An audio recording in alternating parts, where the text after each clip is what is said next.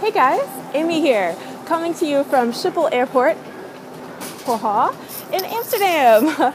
Uh, I just got off a 6 a.m. flight, uh, red eye from Boston, and I'm headed to Malaga, Spain, where I'm going to be sharing EyeWire at ISTAS, uh, which is a social and community innovation conference.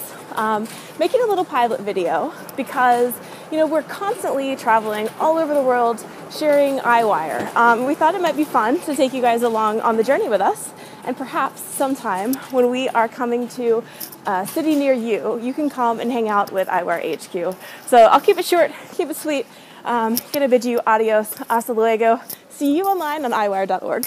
Ciao. I mean, adios.